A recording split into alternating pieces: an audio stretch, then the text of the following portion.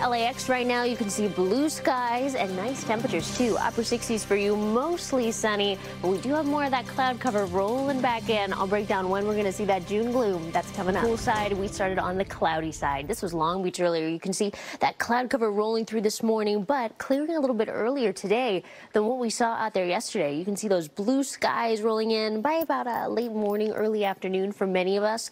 Long Beach right now still seeing some really beautiful blue skies this Sunday, so shaping up up to be a nice day out there. 74 degrees for you, partly cloudy. And then Irvine, a little bit more of a mix of those sun and clouds, but still uh, finally got to see the blue today. 74 degrees as well for you. So temperatures were looking really nice for us, and so is the air quality. We're in the green for most of you. You can see several patches, especially uh, Santa Clarita, Pasadena, even into San Bernardino, of some moderate air quality. We and still seeing a little bit of that well. marine layer up in our Ventura County uh, beaches, even close to Oxnard this evening.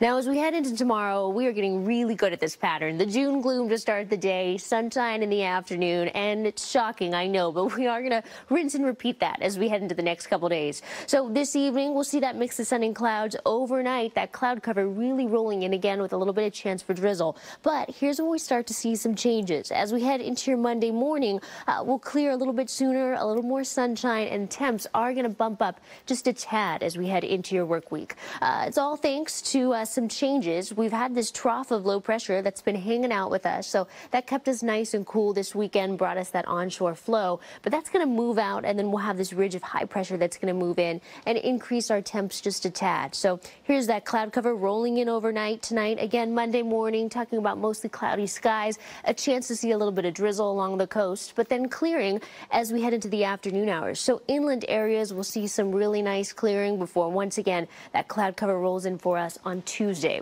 All right, lows tonight little bit more sunshine in the mix on Wednesday. We'll cool down just a tad as we head toward the end of the week and look at next weekend. We'll see a nice bump in temperature. So looking like next Saturday, Sunday, uh, Tuesday, and then dipping down into the 90s for the rest of the week. Uh, but Michelle and Jory.